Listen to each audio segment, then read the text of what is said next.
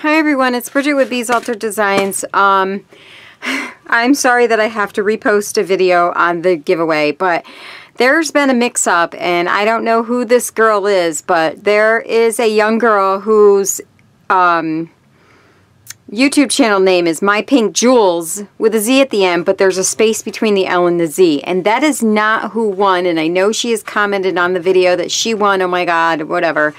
I looked, she's not even a subby of mine, and I even tried to email her, and I'm blocked. So I'm not sure who she is, but I'm going to take my camera down, and I'm going to show you guys who the winner was, um, exactly how it was spelled out, and I even looked up her, e her internet. Um, sorry if I'm moving this around, but let me just get this up.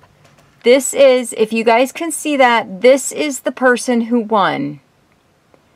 Um, it's My Pink Jewels, and it has the L and the Z are together. And this is the person who won. So, I apologize again for putting this video. I'm so sorry to the girl who thought that she had won. Um, but when I double checked to see if she was a subby of mine, she was not a subby of mine. And like I said, I cannot email her. Sorry, I'm trying to hook you back up here.